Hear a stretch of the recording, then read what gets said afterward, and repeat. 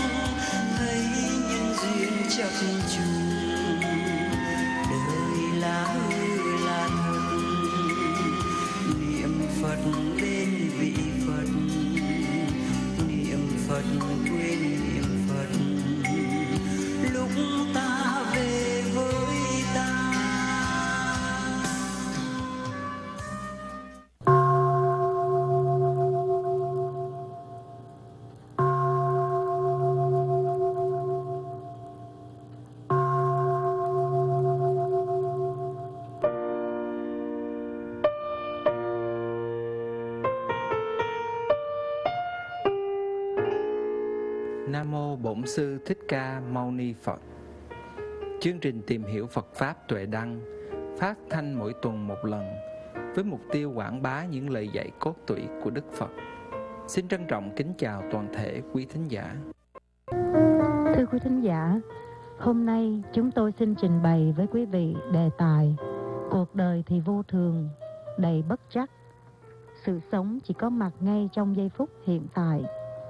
Thưa quý vị, nếu chúng ta nhìn kỹ lại bản thân, thì sẽ thấy là dường như chúng ta ít khi thực sự sống ngay trong giây phút hiện tại, mà thường để tâm trí hồi tưởng về những việc trong quá khứ, hoặc suy nghĩ tính toán tới những chuyện sẽ xảy ra trong tương lai.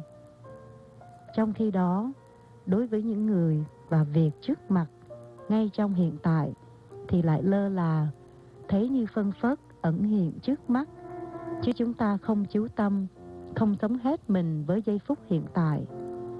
Đôi khi người đối diện chúng ta nói, nhưng chúng ta thì lại còn đang mãi nghĩ về những vấn đề nào đó của riêng mình. Nên chỉ nghe thấy tiếng ồn ào, mơ hồ, mà không hiểu họ nói gì. Đến nỗi chính người đối thoại phải hỏi, ủa, đang nghĩ gì thế? Có nghe tôi nói không vậy? Đó là tình trạng sống say, chết mộng không thực sự sống. Đức phật là vị giác ngộ đạo phật là đạo giác ngộ. Giác ngộ chính là con người thật, một mặt thật từ ngàn đời trước. Khi chúng ta trôi lăn vào dòng sinh tử, bị làn sóng tâm ý thức lôi cuốn, nhận chìm vào dòng vô minh, tham ái sinh diệt, tạo ra cái thế giới hiện tượng tương đối này nói vốn là cái gì? Nhà Phật quan niệm rằng giác ngộ được nguồn gốc của kiếp nhân sinh, rồi tự mình tự giải thoát ra khỏi được sự ràng buộc của mê vọng. của dòng luân hồi sanh tử. Muốn thế, người hành giả phải hoàn toàn thanh tịnh hóa được tâm mình, chấm dứt mọi suy nghĩ mông lung, tâm duyên, ý mã. Mục tiêu tối hậu là giác ngộ giải thoát hoàn toàn. Nhưng giáo lý nhà Phật đã chia con đường lớn ra thành từng giai đoạn nhỏ để mọi người tùy theo hoàn cảnh, cơ duyên đều có thể tự mình đạt được từng bước giải thoát trong đời sống hàng ngày. Những bước giải thoát nho nhỏ này chính là sự thực tập trong ngày, dành đôi chút thì giờ để sống trong giây phút hiện tại. Đó chính là những giây phút mà tâm trí con người thoát ra khỏi sự o ép căng thẳng vì những sự suy nghĩ triền miên về quá khứ và tương lai. Những nỗi thống khổ của kiếp người có thể đại cương chia ra thành hai nhóm, thân khổ và tâm khổ, nghèo đói, bệnh tật, vân vân là thân khổ, buồn rầu, ghen tức, tiếc nuối, lo sợ vân vân là tâm khổ. Nhưng thường thì hai loại khổ này liên đới với nhau. Thân khổ thì tâm cũng thấy khổ. Tuy nhiên, người mãi chạy theo mê vọng quá thì sẽ có thể bị những nỗi khổ mà lẽ ra không đáng bị khổ. Ví dụ như nghèo đói, thất nghiệp thì lo sợ ngày mai không có cơm ăn.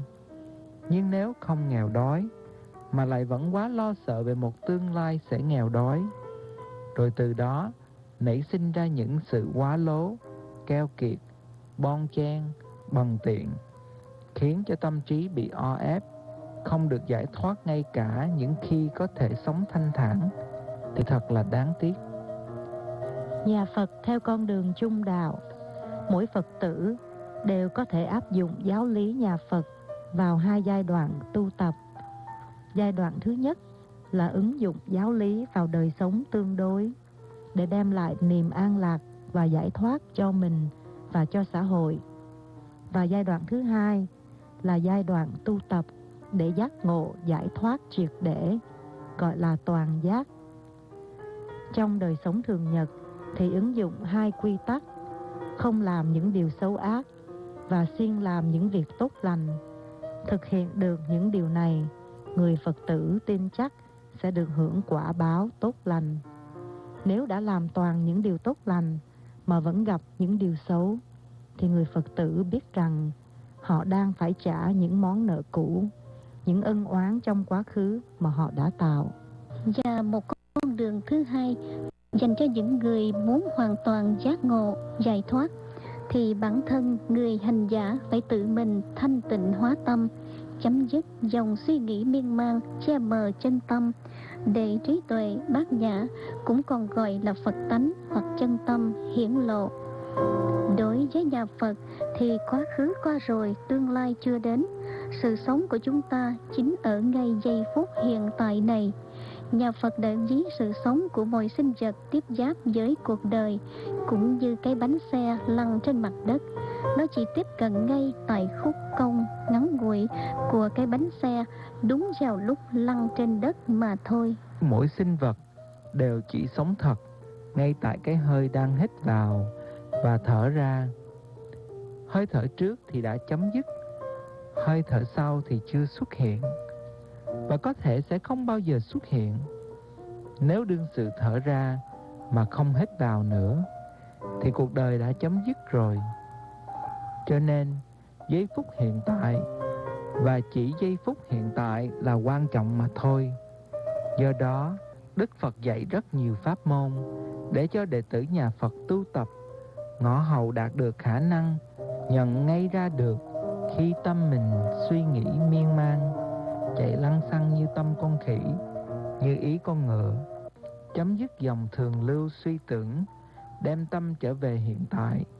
Đó là những pháp môn tu như quán niệm hơi thở, tứ niệm xứ, thiền tông, thiền minh sát tuệ, niệm phật, vân vân. Trong bài kinh nhất dạ hiền giả Đức Phật dạy, quá khứ không truy tìm, tương lai không ước vọng, quá khứ đã đoạn tận, tương lai lại chưa đến. Chỉ có Pháp hiện tại, tuệ quán chính ở đây, không động không rung chuyển. Biết vậy nên tu tập. Hôm nay nhiệt tâm làm ai biết chết ngày mai không ai điều định được với đại quân thần chết, chú như vậy nhiệt tâm, đêm ngày không mệt mỏi, xứng gọi nhất dạ hiền, bậc an tịnh, trầm lặng. Mê mải với quá khứ và tương lai, chúng ta quên mất hiện tại, cũng như câu chuyện ẩn dụ về một người bị cọp đuổi, anh ta phóng mình chạy, không kịp coi trước coi sau, lọt ngay xuống một cái giếng khô bỏ hoang. May thay anh cơ tay, chụp dội được cái rễ cây cổ thụ thòng xuống thành giếng.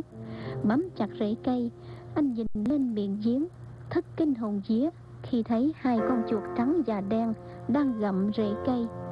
Trong lúc tuyệt vọng, anh nhìn thấy một chùm nho đông đưa trước mặt, vừa đói vừa khát. Chùm nho đối với anh bây giờ chính là nguồn tiếp nối sự sống. Anh dương cổ tới, gặm một trái ôi mới ngon ngọt mát mẻ làm sao? Có nhiều lối giải thích câu chuyện. Và pháp môn tổ sư thiền cũng dùng câu chuyện này làm một công án. Nhưng nếu giải thích theo tinh thần đề tài kỳ này cuộc đời thì vô thường đầy bất chắc, sự sống chỉ có mặt ngay trong giây phút hiện tại. Thì rõ ràng đối với anh chàng này nghĩ về quá khứ giàu sang hoặc tương lai huy hoàng đều không ích lợi gì nữa. Chỉ có quả nho trong hiện tại là giúp cho anh sống còn mà thôi. Cọp rượt dụ cho những bơi chải trong cuộc đời, lọt xuống giếng dụ cho những hiểm nguy mà con người thường gặp. Chuột trắng và chuột đen dụ cho ngày và đêm cứ lẳng lặng gặm mòn dần đời sống của kiếp nhân sinh, và cái rễ cây bị gặm đứt bất cứ lúc nào là dụ cho vô thường đến bất chợt. Không ai có thể biết trước. Cuộc đời thì vô thường, không có gì bảo đảm chắc chắn cho tương lai. Tai họa do thiên nhiên giáng xuống, ít người biết trước. Và ngay như có biết trước, cũng ít người thoát khỏi bị ảnh hưởng. Vào ngày 26 tây tháng 12 năm 2004 trong số gần 200.000 nạn nhân sống thần bên Á Châu có biết bao nhiêu người ra đi không về, chết tức tưởi trong buổi sáng hôm đó, để lại cho thân nhân niềm tiếc núi khôn nguôi, vì bản thân đã mãi mê suy nghĩ về quá khứ và tương lai. Không ngẩng lên nhìn người thân của mình, nở một nụ cười thân ái chia tay, dù là chia tay một lát hay chia tay lần cuối cùng vĩnh viễn. Không riêng nhà Phật, nói về vô thường Văn hào Pháp Alexandre Dumas cũng căn dặn rằng mỗi ngày nên nghĩ đến sự chết một lần để làm gì để nhắc chúng ta về lẽ vô thường. Trong đời sống tương đối, không có cái gì vĩnh cửu, tất cả đều trong dòng sinh trụ dị diệt. Có nghĩa là mỗi sự vật đều xuất hiện, có mặt một thời gian, biến đổi dần rồi chấm dứt. Hoặc là chết, hoặc là tan vỡ. Đôi khi có những sự vật không kịp đi đủ chu kỳ, sự chết hoặc tăng vỡ đến bất thình lình quá mau, khiến cho không ai biết trước được thời điểm biến mất của nó. Vậy mà chúng ta lãng quên đi, cứ tưởng rằng những người thân kia sẽ hiện hữu mãi mãi với chúng ta, cho nên chúng ta không tiếc những phút giây hiện tại. Có thể là những giây phút cuối cùng trong cuộc đời mà họ và chúng ta có nhau chúng ta lơ là không sống thực sự với họ trong lúc còn có thể. Để rồi đây nếu chẳng may vô thường ập đến thì lúc đó chúng ta có tiếc nối cũng đã quá muộn màng. Vậy thì hôm 26 tháng 12 năm 2004 đó, trong khi cuộc đời của cả thế giới đang trôi chảy, một ngày như mọi ngày, thản nhiên bình lặng, người nào việc nấy, thì bỗng nhiên thiên tai giáng xuống trong vòng giây lát. Một cơn sóng lớn như trái núi bằng nước, âm âm đánh đập vào một miền bờ biển Á Châu, đập tan cả vùng nhà cửa mênh mông, vốn là vùng nghỉ mát trù phú, giết chết trên 200.000 người. Một bài báo kể lại, Hai tuần lễ trước, phần lớn chúng ta không hề biết đến từ ngữ tsunami có nghĩa là gì. Cứ tưởng nó cũng có nghĩa hiền lành như là sushi hoặc tempura. Nhưng vào ngày 26 tháng 12 năm 2004, cả thế giới mới biết cái nghĩa thật sự kinh hoàng của nó là nhà tan cửa nát, người và vật suốt một dải bờ biển châu Á chết trong vòng giây phút. Từ một mẫu phim video tài tử được chiếu trên màn ảnh Internet, chúng ta thấy cảnh mọi người đứng trên bờ biển, vui vẻ ngắm núi nước cuồn cuộn đánh vào bờ. Chỉ có vài người nhận ra được sự nguy hiểm, nhưng đã quá trễ. Núi sóng trường lên mình họ, phăng phăng cuốn đi tất cả.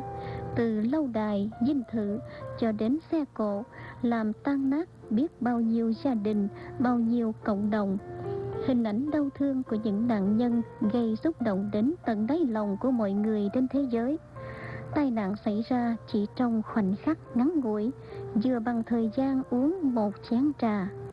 Vào cái ngày định mạng đó, Tilly Smith, một cháu gái 10 tuổi người Anh, đang đứng trên bờ biển Mai Khao, thuộc tỉnh Phuket, Thái Lan. Cả gia đình cháu đang vui vẻ thưởng thức cảnh sóng ngoài khơi cuồn cuộn nhồi và khởi sự bung ra. Những người lớn thấy lạ thì chăm chú nhìn một cách tò mò. Nhưng cháu Tilly thì sợ điếng đến tê dại cả người, hét lên thấp thanh. Chúng ta phải chạy ra khỏi bờ biển ngay lập tức mẹ ơi, con sợ rằng đây là tsunami. Đám người lớn ngẩn ra tỏ vẻ không hiểu.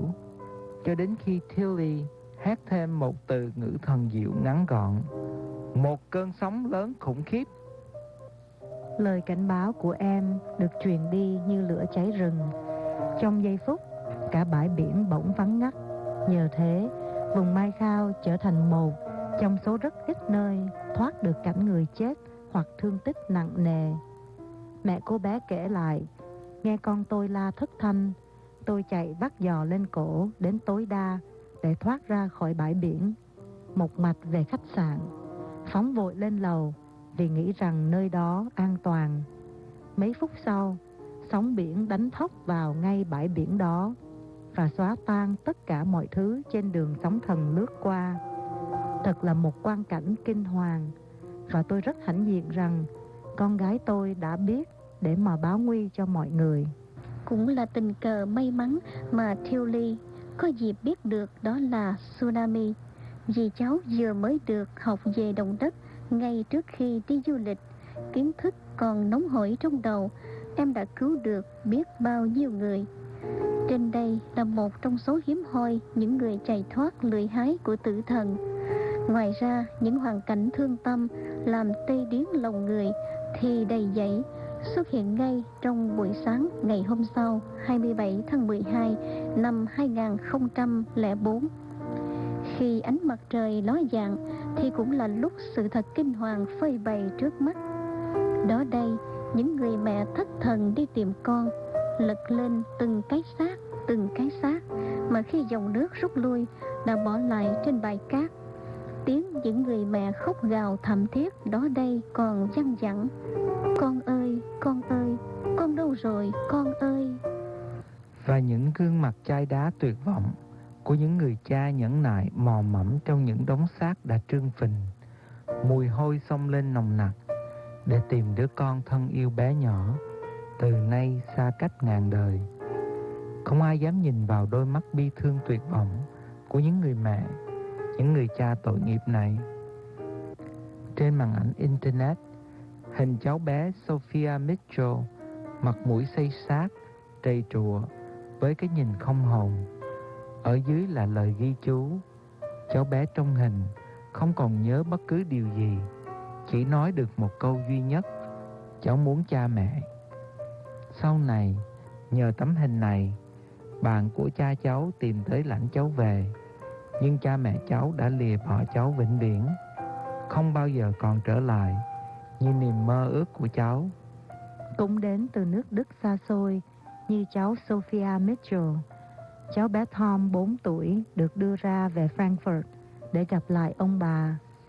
Cha cháu đã mất tích nhưng mẹ cháu còn sống với đầy vết thương cả thể xác và tâm hồn. ít nhất cháu Tom còn đỡ khổ hơn Sophia, còn niềm hy vọng có ngày gặp lại mẹ cháu.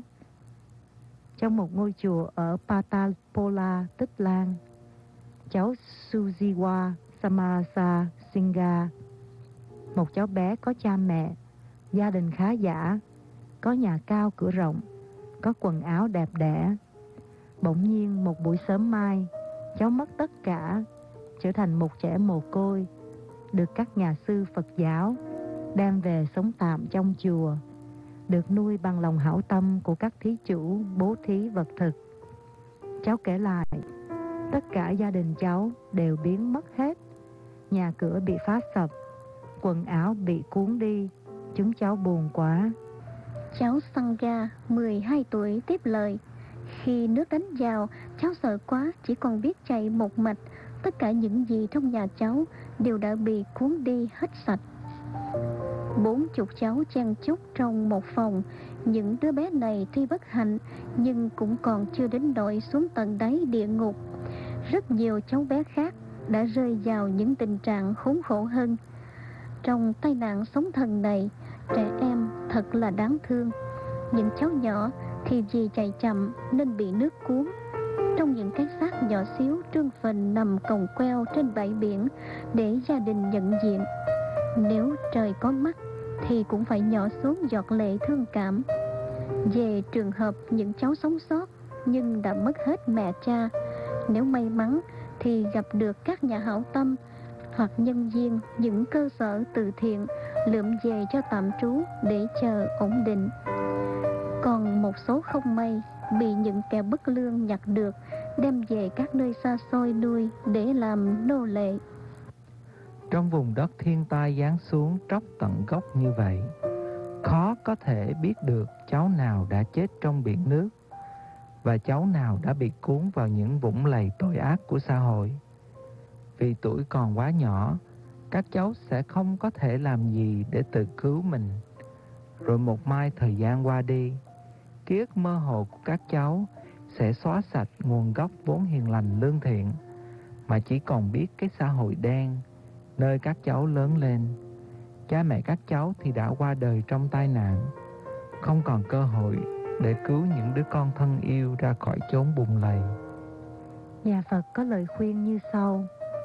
Ngày hôm nay đã qua đi, mạng sống đã thu ngắn lại, như cá trong chậu thủy tinh. Dưới đáy có một lỗ nhỏ, mỗi ngày rơi một giọt nước. Sống tối đa một trăm năm, nhưng vô thường bỗng đến thăm, cái chậu vỡ thành từng mảnh. Con cá dãy dùa dưới đất, rồi mắt nhắm lại im lìm. Đại chúng, hãy nhớ đời người lâu nhất cũng chỉ một trăm năm thôi. Nhưng nếu vô thường đến gấp, thì cuộc đời chấm dứt ngay. Cơ duyên gặp được Phật Pháp, hãy nên tu tập đêm ngày. Như lửa cháy đầu tinh tấn, một đời giải thoát mới hay.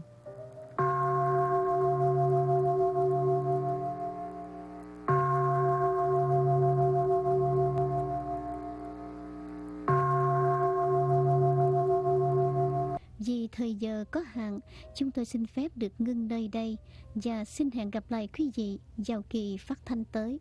Nếu quý thính giả muốn góp ý kiến, xin gửi email về địa chỉ Phật Pháp Tuệ Đăng at yahoo.com. Chương trình tìm hiểu Phật Pháp Tuệ Đăng xin trân trọng kính chào và kính chúc quý thính giả một tuần lễ thân tâm thường an lạc. Nam mô Bổn sư Thích Ca Mâu Ni Phật. niệm phật